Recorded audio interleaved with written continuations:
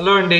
Welcome to Icon Politics Rajesh garu police వాడే కాదు uniform కూడా డ్యూటీ చేస్తుంది అనేటువంటి మంచి మంచి డైలాగులు మన సినిమాల్లో చూస్తూ ఉంటాం.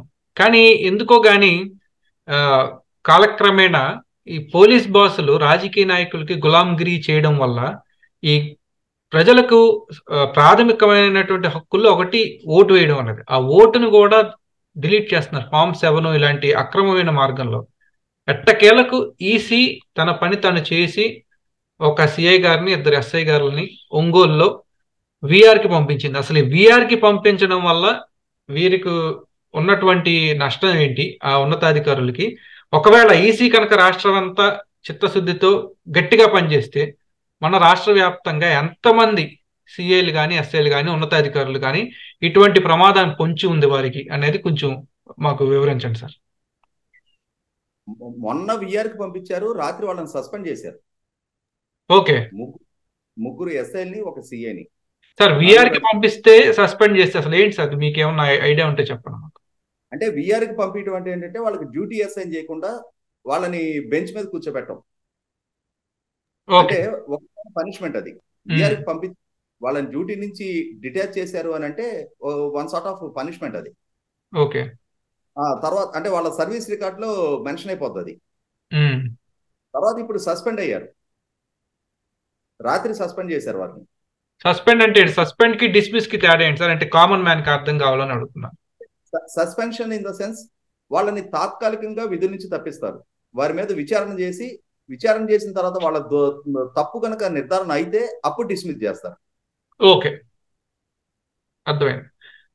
అంటే ఒక పిల్లవాడికి అర్థం కావాలంటే విఆర్ అంటే బెంచ్ మీద నుంచే పెట్టడం. అంటే క్లాస్ బయట నుంచే పెట్టడం. డిస్మిస్ అంటే టీసీ ఇచ్చి పంపించడం. తప్పించి వాళ్ళకి ఎస్పీ ఆఫీస్లో విఆర్లో ఉంచడం అంటారు. అంటే ఎటువంటి విధులు కేటాయించకుండా అంటే ఉదయాన్నే వచ్చి వాళ్ళకి జీతం వస్తుంది అన్ని వస్తాయి. కానీ ఏంటంటే మిగిలిన సహచరులందరి ముందు కూడా వాళ్ళు అంటే వీళ్ళు విఆర్లో ఉన్నారు అని అంటే ఖచ్చితంగా వీళ్ళు ఏదో తప్పు చేశారన్న భావన గిల్టీనెస్ వాళ్ళలో కలుగుతూనే ఉంటుంది. రెగ్యులర్గా వాళ్ళు పని చేయడం కోసం అపాయింట్ అయిన దగ్గర ఆ పని నుంచి తప్పించారు అని అంటే ఉత్తగా తప్పిరు కదా. సహజంగా ఒక వ్యక్తిని విధుల నుంచి తప్పించాలంటే ఉండే కారణం ఏంటి? ఆసక్తత.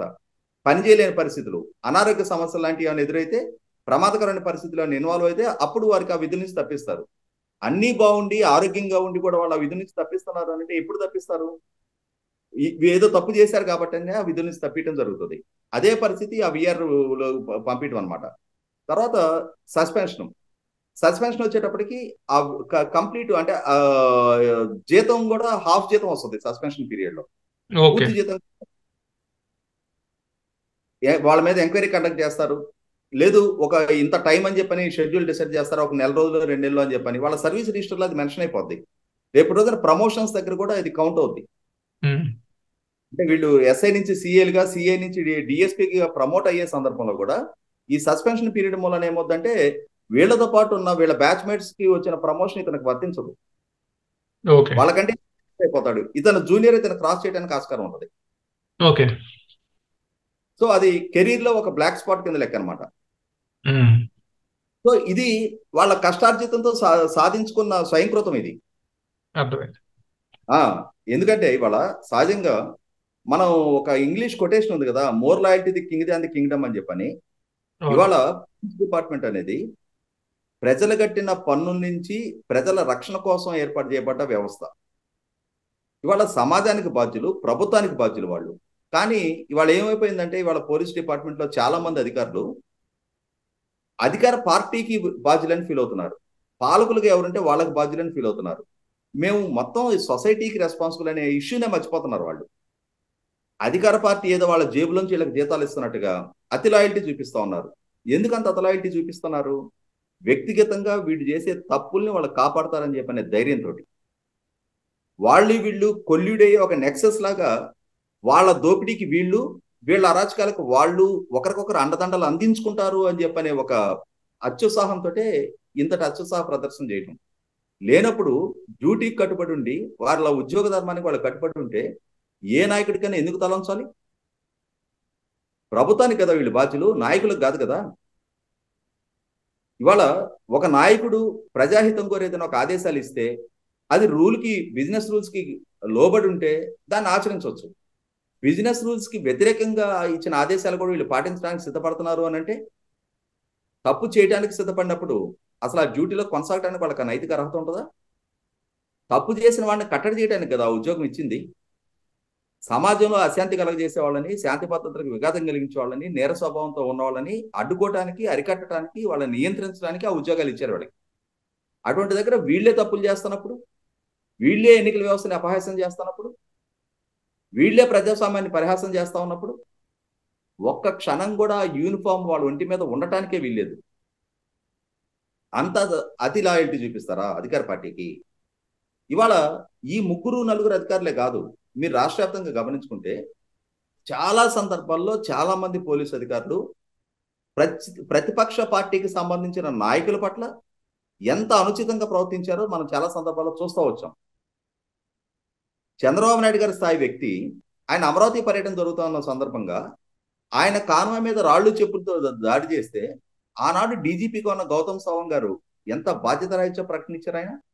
దాని భావ ప్రకటన స్వేచ్ఛతో పోల్చారు ఆయన. నిరసన తెలియజేయడంలో భాగంగా పరిగణించాలి తప్ప దాన్ని దాడిగా పరిగణించాల్సిన అవసరం లేదు అని చెప్పని చెప్పారు.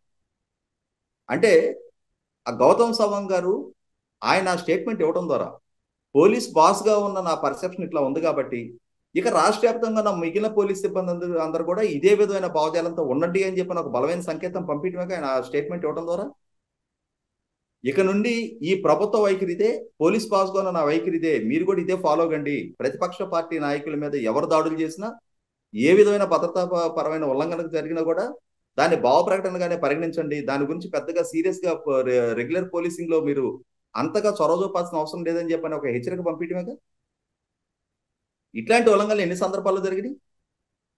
ఎన్ని సందర్భాల్లో ఎంతమంది నాయకులు ఇట్లాంటి అవమానాలకు పోలీస్ డిపార్ట్మెంట్ ద్వారా గురయ్యారు? నరసరాపేటలో ఒక డిఎస్పీఓ సిఐఓ అక్కడ తెలుగుదేశం పార్టీ ఇన్ఛార్జిగా ఉన్న డాక్టర్ చంద్రవాడ అరవింద్ బాబు గారిని బూటుకాలతో గుండెల మీద తన్నారు. ఎంత అహంకారం అండి ఇది? కండకావరం కదా? ఎందుకు ఇంత అత్యుత్సాహం ప్రదర్శిస్తా ఉన్నారు? మనం చూసాం గతంలో కదిరిలో కందికొంట వెంకటప్రసాద్ గారి మీద అక్కడ సిఐ మేసాలు దువ్వుతా జీపు మీద తొడలు కొడతా జీప్ మీద నిలబడి సవాళ్ళు విసురుతా? అంటే ప్రతిపక్ష పార్టీ నాయకులతోటి బహిరంగ పోరాటాలు చేయమని చెప్పని భౌతిక దాడులు చేయమని చెప్పని మీకు ఉద్యోగాలు ఇచ్చారా? అక్కడ చినగోస అని చెప్పని ఇంకొక సిఐ పరిటాల సునీత్ గారి మీద పరిటాల శ్రీరామ్ గారి మీద ఎంతగా రెచ్చిపోయింది మనం చూసాం. మాధవరెడ్డి అని చెప్పనే రామచంద్రారెడ్డి అనే ఇద్దరు డిఎస్పీలు అమరావతి రైతులు శ్రీ అమరావతి నుంచి అరసోలి వరకు పాదయాత్ర చేస్తున్న సందర్భంగా రామచంద్రపురంలో ఎంత అత్యుత్సాహ ప్రదర్శన చేసింది వాళ్ళ మీద భౌతిక దాడులు చేసింది చూసాం మనం. చంద్రబాబు నాయుడు గారు కుప్పం పర్యటన సందర్భంగా అక్కడ పలంనేరు డిఎస్పీ ప్రవర్తించిన తీరు చూసాం మనం. ఇవాళ చిత్తూరు ఎస్పీ ఆయన వ్యవహార శైలి గమనిస్తూ ఉన్నాం. ఉన్నతాధికారులుగా ఉన్నాళ్ళు. ఈ విధమైన ప్రవర్తన ప్రవర్తించడం ద్వారా అధికార పార్టీకి అంత లాయల్టీ చూపించడం ద్వారా దిగువ స్థాయి సిబ్బందికి ఎటువంటి సందేశం ఇస్తా ఉన్నారు? దిగువ స్థాయి సిబ్బందికి సరైన గైడెన్స్ ఇవ్వాల్సిన దగ్గర ఇవాళ వీళ్ళే ఇటువంటి అంటే రూల్స్ బ్రీచ్ చేస్తా ఉన్నప్పుడు ఖచ్చితంగా దిగువ స్థాయి సిబ్బంది ఇంకెంత ఉల్లంఘనకు పాల్పడతారు? ఇవాళ సమాజానికి రక్షణ కల్పించాల్సిన పోలీస్ డిపార్ట్మెంటు సమాజాన్ని ఇగ్నోర్ చేసి అధికార పార్టీ నాయకులకి వాళ్ళ దగ్గర మెప్పు కోసం వాళ్ళ దగ్గర మెహర్బానీ కోసం ఏం చేసినా చెల్లుబాటు అవుతుందని చెప్పిన ఇటువంటి వైఖరి. ఇవాళ కొంతమంది పోలీస్ అధికారులు ఇవాళ మొత్తం పోలీస్ డిపార్ట్మెంట్కే అప్రతిష్ట పాలుగా తయారవుతున్నారు. అప్రతిష్ట పాలు చేస్తా ఉన్నారు. అసలు ఎలక్షన్ డ్యూటీలో బిఎల్ఓలతోటి వాట్సాప్ గ్రూప్ క్రియేట్ చేసి ఫామ్ సెవెన్లు ఎన్ని వచ్చినాయి ఎన్ని రాలేదు ఏంటి అని చెప్పని మానిటర్ చేసే బాధ్యత ఆ అవసరం పోలీస్ డిపార్ట్మెంట్కి ఏం సంబంధం? ఒక సిఐ ఈ ముగ్గురు ఎస్ఐలు వీళ్ళు వాట్సాప్ గ్రూప్ క్రియేట్ చేసి మహిళా పోలీసులతోటి ఒక ఆ బిఎల్ఓలుగా వాళ్ళు ఉన్నారు కాబట్టి అని చెప్పని ఈ మానిటరింగ్ చేసే బాధ్యత మీదే? మీకు సంబంధమా? ఇవాళ సస్పెండ్ అయ్యారు.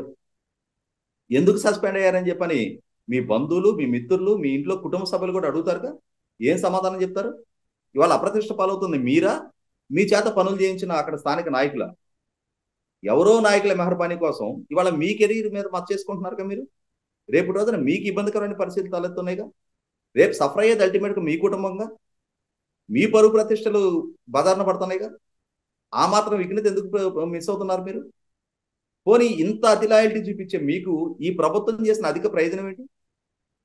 మీరు కూడా రాష్ట్ర ప్రభుత్వ ఉద్యోగులు అంతర్భాగమే కదా? మీకు కూడా మిగిలిన రాష్ట్ర ప్రభుత్వ ఉద్యోగుల్లాగానే అయ్యారు ఇరవై ఏడు పర్సెంట్ కంటే తక్కువగా ఇరవై మూడు పర్సెంట్ ఫిట్మెంటే ఇచ్చారు కదా. ఎన్నికలకు ముందు పోలీస్ డిపార్ట్మెంట్కి వారాంతం సెలవులు ఇస్తానని చెప్పిన వాగ్దానం నుంచి తప్పుకున్నాడు కదా జగన్మోహన్ రెడ్డి గారు. మోసం చేశారు కదా మిమ్మల్ని. మీకు డిఏ బకాయిలు అలాగే ఉండిపోయినాయి కదా. మీరు రెండు వేల నాలుగు తర్వాత ఉద్యోగాల్లో చేరిన వాళ్ళకి సిపిఎస్ రద్దు చేస్తానని చెప్పిన వాగ్దానం చేసిన ఆయన ఇప్పుడు జీపీఎస్ తోటి ఒక వింత ప్రపోజల్ తీసుకొచ్చి మీ ముందు పెట్టి మీకు అన్యాయం చేశారు కదా. మీ సరెండర్ లీవ్ ఎన్కాష్మెంట్ రెండు వేల ఇరవై ఒకటి నవంబర్ నుంచి ఇప్పటివరకు అతిగతి లేదు కదా. ఏ విషయంలో మీకు న్యాయం జరిగిందని? మీ హెచ్ఆర్ఐ స్లాబ్లు ప్రతి స్లాబ్కి టూ పర్సెంట్ కోత విధించారు కదా. జగన్మోహన్ రెడ్డి గారి వల్ల మీకు అధికంగా జరిగిన ప్రయోజనం ఏంటి? ఇంతగా జగన్మోహన్ రెడ్డి గారిని భుజానేసుకొని ప్రతిపక్ష పార్టీలని వాళ్ళు ఏదో వర్గశత్రులాగా మీరెందుకు భావిస్తున్నారు? ప్రతిపక్ష పార్టీలకు సంబంధించిన ఓటర్లని తొలగించడము జగన్మోహన్ రెడ్డి గారి పార్టీకి సంబంధించిన ఓటర్లను చేర్పించే బాధ్యత మీదే. ఇవాళ ఎలక్షన్ కమిషన్ చర్యలకు మీరు బాధ్యులయ్యారు. కానీ జగన్మోహన్ రెడ్డి గారి వైపు నుంచి మీకు కొద్దిపాటి మేలు కూడా జరగల ఈ రోజు దాకా ప్రభుత్వ పరంగా. మీ డిపార్ట్మెంట్నే ఇగ్నోర్ చేస్తూ వచ్చారండి మిగిలిన స్టేట్ గవర్నమెంట్ ఎంప్లాయీస్కి పదిహేను రోజులు సరెండర్ లీవ్లు ఉంటే పోలీస్ డిపార్ట్మెంట్కి నలభై ఐదు రోజులు ఉంటాయి. ఎందుకు అనంటే మీకు ట్వంటీ ఫోర్ బై సెవెన్ మీకు వారాంతం సెలవులు లేకుండా ఇరవై నాలుగు గంటలు ఎమర్జెన్సీ డ్యూటీలో ఉంటారు కాబట్టి అని చెప్పని. రెండున్నర సంవత్సరాలుగా మీకు సరెండర్లు లీవ్లు ఎన్కాష్మెంటే కావట్లేదు కదా? మీ జీపీఎఫ్ లోన్స్ అతిగతి లేవు కదా? జిఎల్ఐ లోన్స్ అతిగతి లేవు కదా? రిటైర్మెంట్ బెనిఫిట్స్ సక్రమంగా అందట్లేదు కదా? ఇవాళ మీకంటే కానీ మిమ్మల్ని ఒక ప్రైవేట్ సైన్యంగా వాడుకుంటా ఉన్నారు కాబట్టి మీకు ఒకటో తారీఖు జీతాలు ఇస్తున్నారు. కానీ మిగిలిన రాష్ట్ర ప్రభుత్వ ఉద్యోగులకు జీతాలు ఎప్పుడు కలుగుతూ ఉన్నాయి? ఇన్ని లోటుపాట్లు జగన్మోహన్ రెడ్డి గారి వైపు నుంచి ఎదురవుతూ ఉంటే ఎందుకు ఇంతటి అత్యుత్సాహం ప్రదర్శన చేస్తా ఉన్నారు మీరు? అంటే జీతం కన్నా మీ కుటుంబ భద్రత కన్నా మీకు సమాజంలో పేరు ప్రతిష్టల కన్నా అధికార పార్టీ నాయకుల దగ్గర మెప్పు మెహర్బానీ మీకు ఎక్కువైపోయిందా? లేదు మేము ఏం చేసినా చలామణి మమ్మల్ని ప్రశ్నించేది ఎవరని చెప్పని అతిశయంతో మీరు ఉన్నారా మీరు కూడా ప్రభుత్వ ఉద్యోగులే. మీరు కూడా చట్టానికి లోబడి పనిచేయాల్సిందే. యూనిఫామ్ ఒంటి మీద ఉంది కదా అని చెప్పని మా ఇష్టారీతిని చెలరైపోతాం ఒక నేరస్తుని ట్రీట్ చేసినట్టుగానే మిగిలిన రాజకీయ పక్షాలను కూడా ట్రీట్ చేస్తాము అని అంటే ఖచ్చితంగా వ్యవస్థలో చెక్స్ అండ్ మెజర్స్ ఉన్నాయి బ్యాలెన్సెస్ ఉన్నాయి. ఆ బ్యాలెన్సెస్ ఉన్న దగ్గర ఇటువంటి పరిస్థితులు ఉత్పన్నం అవుతాయి. ఇది రాష్ట్ర వ్యాప్తంగా ఉన్న మిగిలిన అధికారులందరూ కూడా ఒక గుణపాఠం హెచ్చరిక. ఇప్పటికైనా సరే మీరు మీ నడవడిక మార్చుకుంటే చట్టానికి లోబడి పనిచేయడానికి సిద్ధపడితే అందరి పరువు మర్యాదలు నిలబడతాయి. లేదు అనుకుంటే ఖచ్చితంగా ఏదో ఒక దగ్గర ప్రతిఘటన మొదలుగట్టడం ఖాయం. సమాజం ప్రతిఘటించడానికి సిద్ధపడ్డ రోజు మీ లాఠీలు మీ పోలీసు యూనిఫాము ఏమీ మిమ్మల్ని కాపాడలేవు. ఆ రోజు మీరు దోషులుగా నిలబడతా ఉన్నారు. మీరు సమాజంలో ముద్దాయిలుగా పరిగణించబడతా ఉన్నారు. మీ పరువు ప్రతిష్టలు బదారణ పడతా ఉన్నాయి. ఆలోచించుకోండి. చక్కదిద్దుకుంటారని ఆశిద్దాం. సార్ ఇంకొక చిన్న ప్రశ్న. అంటే ఇప్పుడు బంతి తెలుగుదేశం పార్టీ కోర్టులో పడినట్టే కదా. మొన్నటిదాకా తెలుగుదేశం పార్టీ వాళ్ళందరూ రాష్ట్ర వ్యాప్తంగా ఫామ్ సెవెన్తో ఓట్లు డిలీట్ ఓట్లు డిలీట్ జరుగుతోంది. జీరో డోర్ నెంబర్తో దొంగ ఓట్లు నమోదు చేస్తున్నారని చాలా చాలా నాయిస్ చేశారు. ఇప్పుడు ఎలక్షన్ కమిషన్ ఇప్పుడు వి ఒంగోలులో ఈ చర్య తీసుకోవడం వల్ల ఇప్పుడు బంతి తెలుగుదేశం పార్టీ కోర్టులో పడినట్టే కదా. రాష్ట్ర వ్యాప్తంగా వీరు ఎక్కడెక్కడైతే వీళ్ళు కంప్లైంట్ చేశారో ఇప్పుడు ఆ ఏదైతే సాక్ష్యాధారాలు సేకరించి ఈసీకి సమర్పించాల్సిన బాధ్యత ప్రధాన ప్రతిపక్షంగా తెలుగుదేశం మీద ఉంది కదా? అంటే ఇప్పుడు ఈ ఇష్యూ ఫ్లేరప్ అయింది కూడా. పర్చూరు ఎమ్మెల్యేగా ఉన్న ఏలూరు సాంబశివరావు గారు హైదరాబాద్లో రిట్ పిటిషన్ ఫైల్ చేశారు. అంటే మా అభ్యంతరాలను ఎలక్షన్ కమిషన్ పట్టించుకోవట్లేదు పరిగణలోకి తీసుకోవట్లేదు. అధికారులు వాళ్ళు ఇష్టం వచ్చినట్టు వ్యవహరిస్తా ఉన్నారు అని చెప్పని గౌరవ హైకోర్టులో ఫైల్ చేసిన తర్వాత ఈ పోలీస్ అధికారులు క్రియేట్ చేసిన వాట్సాప్ గ్రూప్కు సంబంధించిన స్పెసిఫిక్ ఎవిడెన్సెస్ ఆయన హైకోర్టుకు సబ్మిట్ చేసిన తర్వాత పోలీసు ఉన్నతాధికారులు కూడా సబ్మిట్ చేసిన తర్వాత పోలీసు ఉన్నతాధికారులు కూడా ఇక్కడ చర్య తీసుకోవాల్సిన ఒక కంపల్షన్ క్రియేట్ అయింది. ఇదే యాక్టివ్నెస్ రాష్ట్ర వ్యాప్తంగా ఉన్న మిగిలిన నూట డెబ్బై నాలుగు నియోజకవర్గాల్లో కూడా తెలుగుదేశం శ్రేణులు ఇంత ప్రొయాక్టివ్గా వర్క్ చేసి తీరాల్సిన అవసరం ఉంది. మీరు గతంలోనే గమనించుకుంటే పయ్యావల కేశవ్ గారు ఉరవకొండ నియోజకవర్గానికి సంబంధించి కేంద్ర ఎన్నికల సంఘానికి నివేదించిన తర్వాత వారు కూడా నిర్ధారించుకున్న తర్వాత జడ్పీ సిఇఓగా ఉన్న అంటే గ్రూప్ వన్ అధికారి స్థాయి వ్యక్తిని కూడా సస్పెండ్ చేయడం జరిగింది కదా? అంతకు ముందు జడ్పీసీఓగా ఉండి ఇప్పుడు బాపట్ల ట్రాన్స్ఫర్ అయిన అధికారిని కూడా సస్పెండ్ చేయడం జరిగింది కదా? కాబట్టి ఏంటంటే ఇది ఒక గుణపాఠంగా ఆ రోజు ఇద్దరు గ్రూప్ వన్ అధికారులు సస్పెండ్ అయ్యారు ఇవాళ సిఐఎస్ఐ స్థాయి అధికారులు సస్పెండ్ అయ్యారు. ఇప్పటికైనా సరే రిలీజ్ అయి తీరాల్సిన అవసరం ఉంది. మీరు ప్రభుత్వ ఉద్యోగులు మాత్రమే మీరు ఏది చేసినా చలమనవద్దని చెప్పిన భావంలో మీరు ఇటువంటి అతిసేపు ప్రదర్శన చేయటం అనేది చెల్లుబాటు కాదు. మీకన్నా పైన ఉన్నత వ్యవస్థలు ఉన్నాయి. మీ తప్పుల్ని సరిదిద్దగలిగే చర్య తీసుకోగలిగే నియంత్రించగలిగే వ్యవస్థలు ఉన్నాయి. అది గుర్తెరిగి ప్రవర్తించాలని నాకు కోరుకున్నాం తప్పకుండా సార్. ఒక ఏలూరు సాంబశివరావు గారు ఒక పయ్యావుల కేశవ్ గారు వీరిని స్ఫూర్తిగా తీసుకుని రాష్ట్ర వ్యాప్తంగా ఉన్న ప్రతిపక్ష నాయకులు ఇటువంటి రూల్ ఆఫ్ లా లేని ఇటువంటి సంఘటనల్ని గట్టిగా ప్రతిఘటించాలని కోరుకుందాం సార్. కోరుకోవడం కాదు డిమాండ్ చేద్దాం. ధన్యవాదాలండి.